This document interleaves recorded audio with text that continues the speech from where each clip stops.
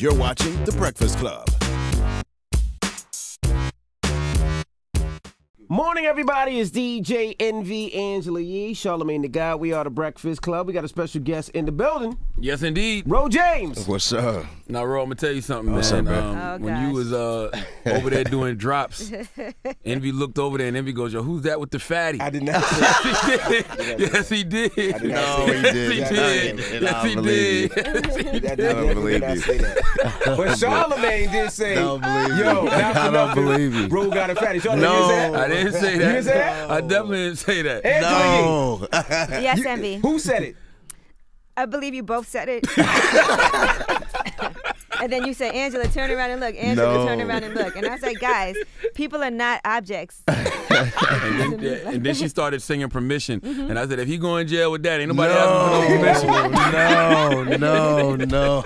We're going to start the interview off with huh? Well, welcome, Ro James. Tell him the What's truth. up? What up, Ro James? And yes, and I remember the first time I heard your song "Permission." Yeah. That was how I was first introduced to Ro James. Word. I heard it. Um, we were at my house and we were just had the. Y'all uh, at your house? He was at your house? No, me and my friends. Oh. We were at the house and everybody was like, "Oh, I love this song. Who is Word. this?" And that's when we went and looked and we were like, "Okay, who is this Ro James?" Some new dude. Yeah, and we Yeah. had to. It was a while ago. Yeah. But that's actually a great song. And what made you decide that you had to say "with your permission"? Because All these rape allegations going around. It was a lot catching- of things going Yeah. on, man. Yeah, and I felt like uh, we needed a message in our music and um, something that could give you both and give you a little sexy, but also a message at the same time. right, because it sounds sexy the way you say it. Yeah. like, with your permission. You know what I mean? Is that really is that really a thing though? I always hear that. I'm married, Word. so I don't have those problems. Word. Is it- Asking for permission. Yeah, like uh, You can't uh, ask your wife for permission. It might be sexy Yeah, I if was you about did. to say that. I was about to say it's kind of sexy. no, but they you be saying what stuff like when you having sex with a girl, like you gotta ask her as you're doing it. Can I continue to do this? Nah, if you're already in action, you might as well just keep going. Yeah, yeah, yeah.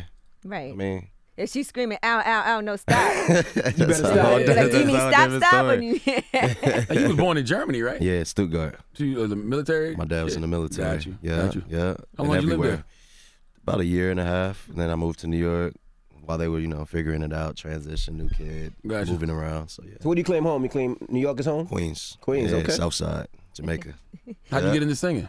Uh, my dad sings. Uh, my whole fam, my dad's whole side of the family sings. So growing up, music was always a part of our life. So, you know, I kind of wanted it to wanted to do it, but didn't know all that it took. So, um, once I made that final decision to do it, it was just like you know, putting myself in the right places, meeting the right people, navigating through the wrong people. You know, yeah, That's a lot of pressure too when your whole family sings. yeah it is. 'Cause the expectations are high. You're the first one to get like a deal, deal though, right? Nah, my, actually, my aunt, my aunt is Rosie Gaines. She mm-hmm. sung with Prince. Yes, you remember Wow. Prince being So like, she "Ladies and Diamonds and gentlemen, Pearls." Rosie Gaines." So you met And she Prince was a few signed to times. RC, she was signed to RCA, too, RCA. which is good.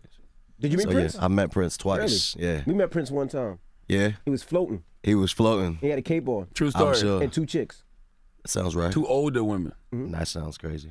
Would you say Prince is your biggest inspiration? I would. I would say he's one of them. Um, I think that his uh, artistry definitely gave me like a blueprint of how to actually do this, actually be myself, talk about something. You know, have my message in my music. Not really focus on you know the trend or trying to chase a single, but actually just artistry and music. you know? Now, Purple Rain was like one of my favorite movies ever. Yeah, from me too, Southside. bro. Yeah. Southside Queens. Southside Jamaica. Did you get did you get joked a lot? Because that's not a Southside Queens typical look. my I'm all the I'm time? it's People always Carhartt, looked at me. You know what I mean? That's People always looked at me like, "Yo, what are you doing, bro?" Mm-hmm. But they respected it, you know, because it, It was makes my you look thing. like a star too. It's my thing, you know. Mm-hmm. So It is very important to have your own thing. Now, I remember reading that you said 19 was a critical year for you. That's why you Yeah. had 19 tattooed on you. I got 19 tattooed on me like three times. But Mm-hmm. uh, 19, 19 what? The number 19. When Okay, I, gotcha. Well, I'm a, I was born November 19th. Gotcha. Um, 19 was when I wrote my first song. 19 was when I actually started this journey. Uh, my grandfather died when I was 19 years old. So Damn. he was like, you know, very pivotal in my life and in my career, making sure that I do what I'm supposed to do, always encouraging me, man, you have a voice, you should use it. Mm-hmm. You know, so yeah, So you big into numerology? I am. Really? Yeah, number three, like I believe in that. Number seven, you know. Seven I is God. Yeah, yeah, yeah, yeah. Three is understanding. 19 is evolution and change. Evolution and change. Yeah. Yep. That's what it said. Uh, and, and, and supreme mathematics, one is knowledge, nine is born, and everything must go from knowledge to born in order to be. Absolutely. Word. I see.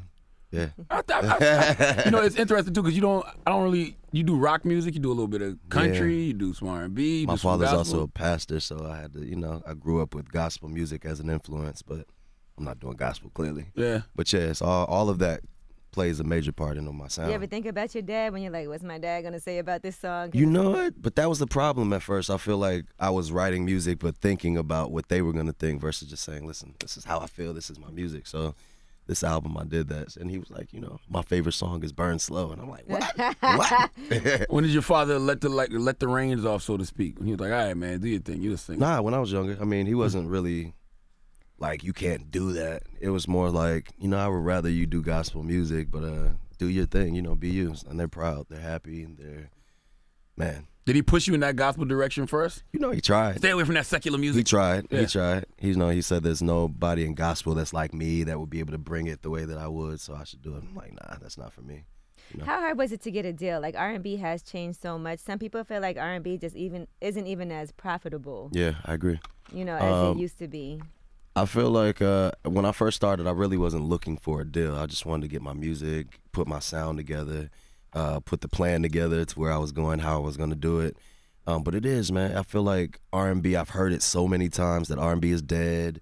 Uh, you shouldn't do R&B. There's no money in it. Nobody wants to invest in that. They'll throw you crumbs, so don't do it. You know, rap a little, auto tune, like do those things that are trendy right now. And I just, I knew that wasn't for me. I knew I had to actually, I had a voice. I could actually sing. I didn't. I don't need auto tune.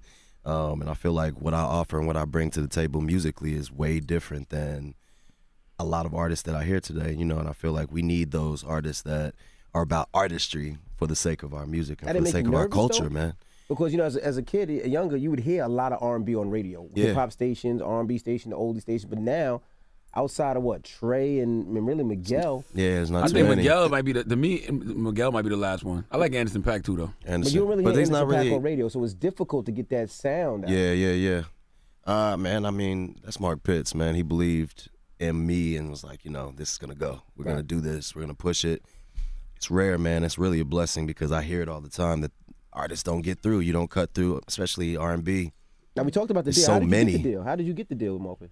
Um, I put out this project, Coke Jack. and- Well, yeah, put out this project, Coke Jack and Cadillacs. I had this song called Pledge Allegiance, and uh, some people had passed it to Mark, like a few A and R's. Miguel introduced, like just different people told Mark, yo, And and for people that don't know who Mark Pitts is, he's right now he's behind Usher, he's behind Miguel, J Yeah. Cole, Did he, he was discover behind Big? Biggie, and he discovered yeah, Big. Big, one of the all people of that them. discovered Big. Go ahead. Yeah, so um, he heard my music. He called me in the office. He was like, "I just want to see if you was really how you dress, how you look. yeah, that's really you." Mm-hmm. And we went from there, and uh, we've been rocking since. Now you was about to say you, you don't think Anderson Paak's like true all the way R and B? No, I don't think he's all the way R and B. I don't Yeah. think so either. I wouldn't. I think he's like a mix. He's like rap and R and B. Has that raspy, but it's still soulful. Yeah, yeah, You it's know a lot I of soul. Yeah. It's still soulful and funky. Clearly, your cars are very important to you. Yeah. So the Eldorado Cadillac, like what's what's the story behind that? well, my first car was a '92 Eldorado. My dad gave me my first car because you know he's trying to bribe me from moving to Indiana. I had to move there when I was a kid, and uh, he See, I don't know much about cars, so is that like a classic? It's a old. great It's a? Cadillac. Cadillac, classic old Cadillac. school classic. Player, yeah. player Cadillac. Yeah, you know. All right, so it's a coupe. nice, great gift. It's a coupe. Yeah, it's a great gift, especially for a young dude. Mhm. I didn't really know what it was, but uh, it.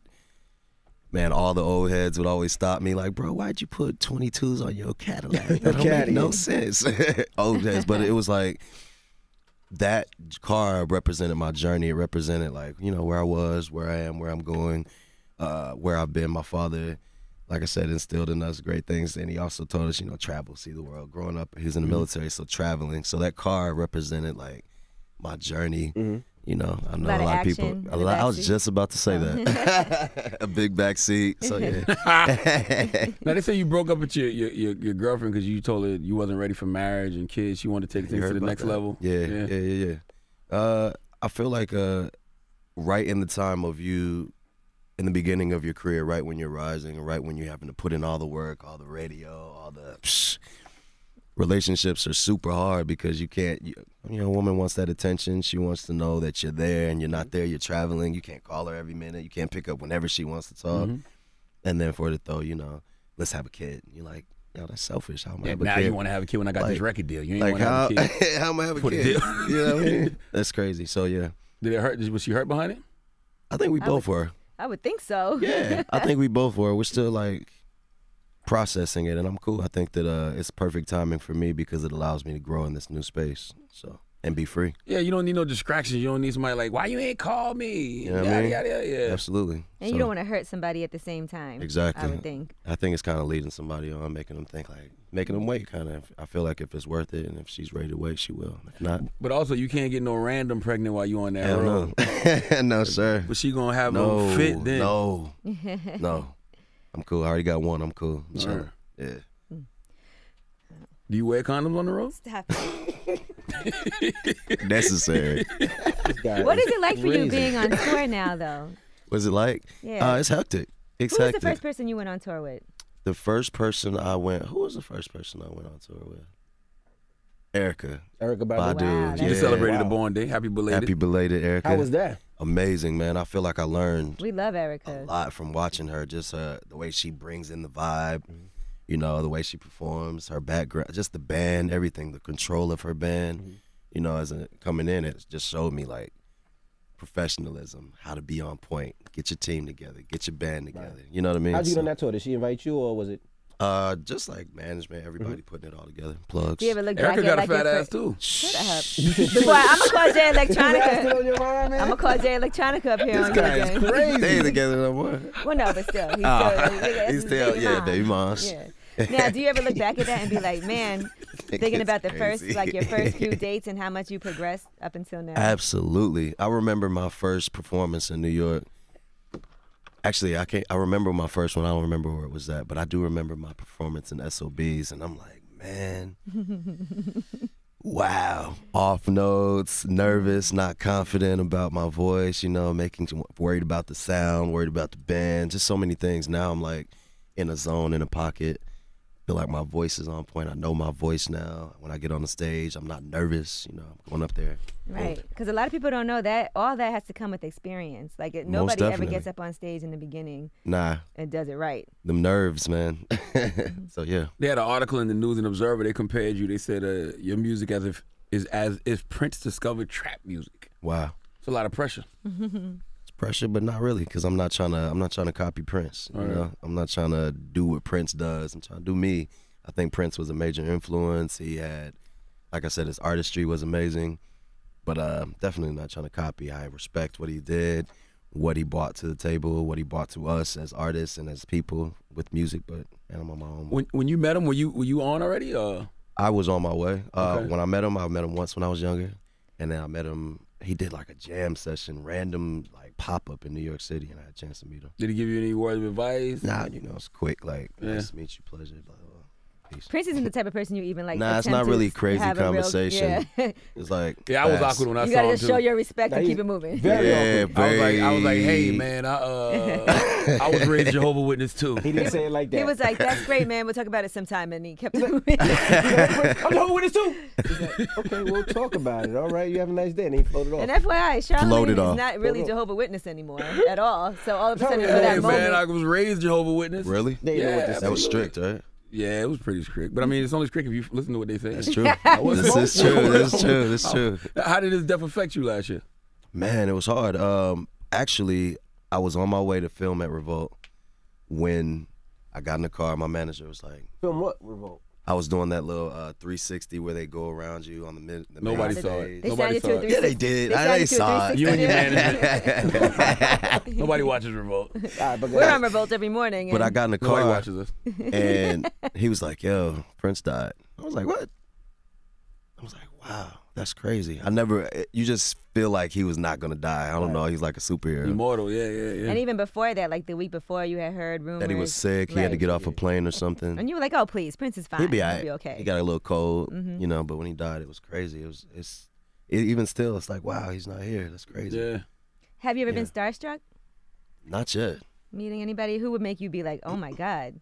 Is there anybody that you, if you met them, you would? Nah, I'm not like that. I Mhm. think I've met a lot of people so far. So I think all the people that I've met. I think when we saw Prince, that was the most. That would probably be the most one. Yeah. I Yeah. ever been. Yeah, like Prince was a little bit. Yeah, Prince was a little bit. Just the way he looked. Just I mean, from the cape. and- intriguing. I think Yeah. Michael Jackson would have been intriguing just to be like. I think if I met Absolutely. Sade, if You I met what I I might be starstruck. I don't feel like Prince had we gloves on have too, right? those He took his gloves off. Prince had a cape. He had gloves on. He was with Heels. two older women. It, was wasn't random older, as was hell. women. No, it was two older women. That was Just younger. walking, they was just walking him They down just the walking. hall. It was like six in the morning. No big, you know what I mean? No big entourage. I'm like, and somebody was like, Prince here. I'm like, Prince is here. Yeah, why would Prince be Why here? would, right? yeah, why would Prince be here? Yeah. And he literally floated away. And I took a picture of him And it disappeared. as he was floating away. And the picture was in my phone for three seconds, and the whole it just went black. It was just like a black square where It the picture of disappeared. him was. Absolutely. For real, you just. I, get- I promise to God. that's crazy.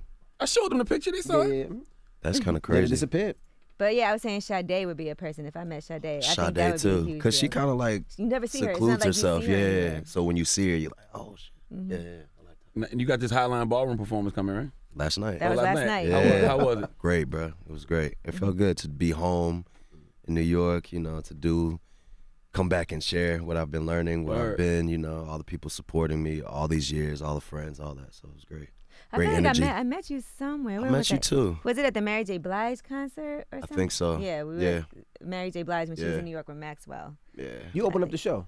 I opened the show. Yeah. Right. That was great. That was a dope. We were that was there. a dope show. Yeah, we was. We was there. We was That was my that was that was my my training too. Yeah. Like, arenas and all those people Yeah, how was that? into How was that, that experience? Because they got you know Maxwell and, and Mary. got loved hits them, man. hits. It- Catalog.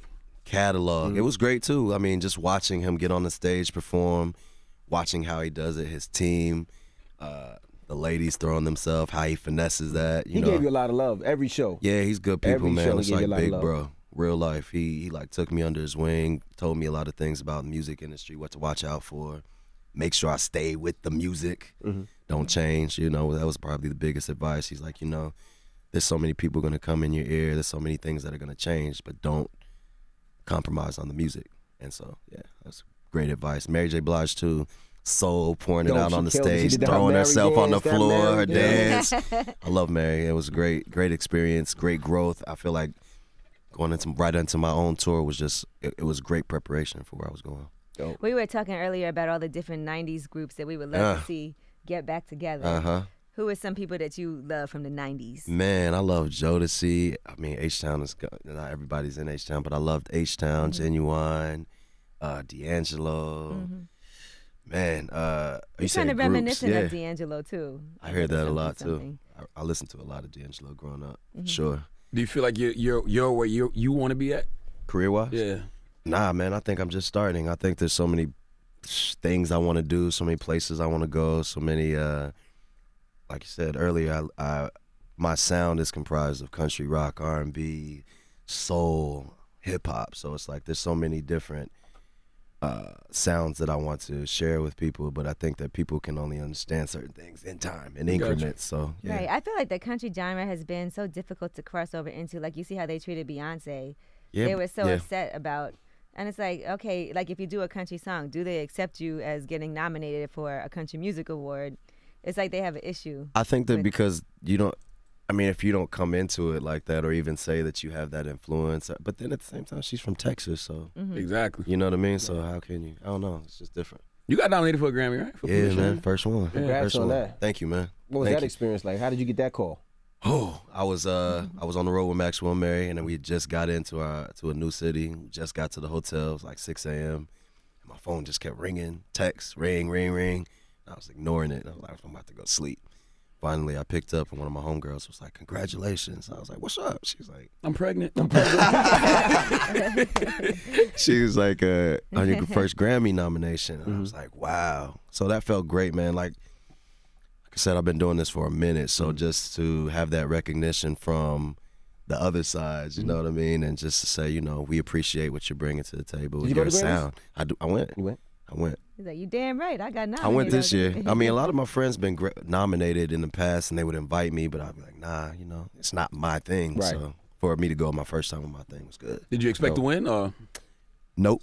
All right, all right. Honestly, I didn't. I, I looked at the ballot and I kind of knew. For one, I knew Beyonce was performing, Right. and uh, but also knew that Solange was this was her time. You know, she had put out something that finally caught for people, and it was amazing. It was great. So I kind of knew that that was where it was going to go. Does, does it dictate how you how you approach the studio? Like once you get nominated for a Grammy and you're like, okay, they're actually paying attention. Maybe I know what kind of records to craft to get the Grammy nods, or you just keep it about the art. That's the hard thing, man. And I actually thought about that. I feel like um, people would expect me to come out with something like a permission again next time around, just so they can be like, ah, I'm familiar with that, I'm comfortable. But I feel like uh, every album should be growth. You should challenge yourself. You should evolve. And I feel like um, next album, I'm gonna it's gonna be even greater, and hopefully I have four nominations this time. You know, in different categories. So just keep pushing and being greater and not being stuck in the same place. All right. Well, Ro James, ladies and Yeah, gentlemen. yeah, yeah. Appreciate you for joining us. Yo, thank you, man. I appreciate you guys. All right, it's the Breakfast Club. Good morning. Hey. The Breakfast Club.